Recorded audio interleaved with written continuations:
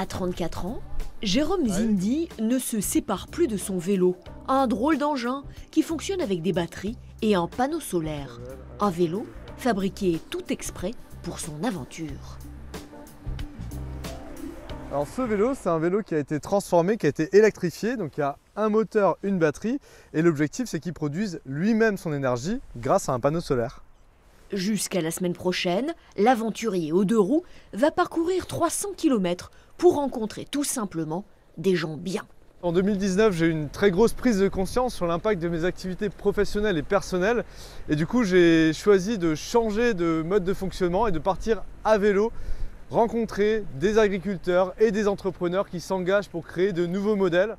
Et la première sur la liste, c'est Charlotte. Bonjour. Bonjour Charlotte. Il y a 7 ans, cet ingénieur agronome un beau vélo, hein. a monté son entreprise pour récupérer et transformer des légumes locaux et bio, mais moches, enfin différents.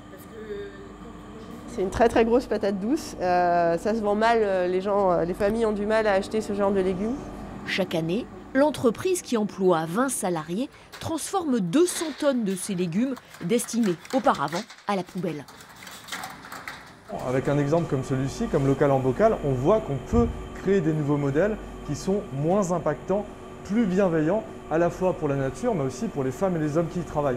Et c'est ça qu'il faut, qu'il faut montrer, il faut qu'on sache que c'est possible et qu'encore une fois, d'autres voies euh, sont euh, possibles, qu'on peut les construire ensemble. Donc là, c'est euh, la soupe de potimarron. Donc là, Ephraim, il mélange, il a mis les épices, etc. Et plus on s'intéresse à la transition écologique, plus on va sur le terrain, plus on se rend compte qu'il y a des femmes et des hommes qui travaillent quotidiennement et qui mettent en place des solutions.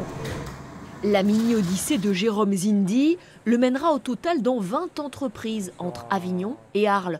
Et dans quelques mois, si tout va bien, il se lancera dans une odyssée à l'échelle de la France.